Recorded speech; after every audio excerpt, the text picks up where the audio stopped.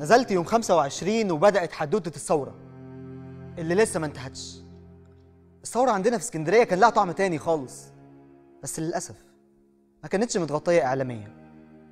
كان يا دوب تقرير صغير مدته دقيقتين أو ثلاثة من مراسلنا فلان الفلاني من الأسكندرية.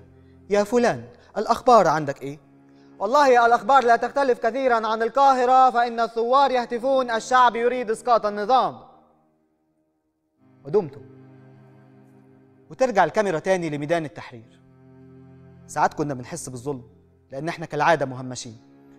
بس عادي زينا زي بقية كل المحافظات وإحنا لا بنصور ولا بنتظاهر عشان نطلعوا في التلفزيون من أساسه.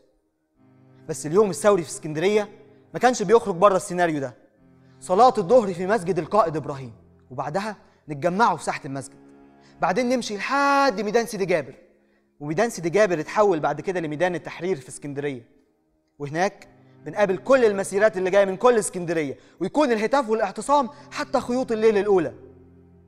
كان في ناس بيبيتوا في الميدان والنسبة الأكبر بتتجه للجان الشعبية. وترجع العجلة تلف وتدور كل يوم. وهو ده كان اليوم الثوري عندنا في اسكندرية.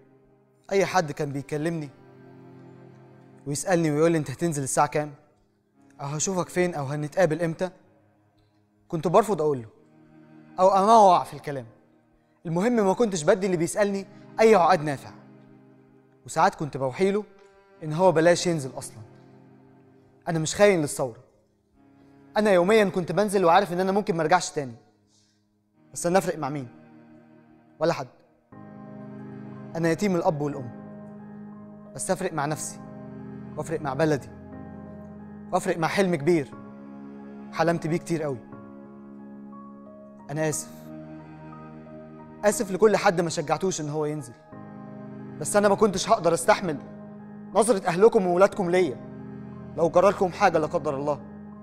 آسف إني رجعت يوم 28 وهدومي كلها بقع دم. معرفتش أفرق بين دمي ودم الناس اللي شلتهم. ما كنتش هستحمل دم حد منكم على هدومي. أو أرجع حد بيته غرقان في دم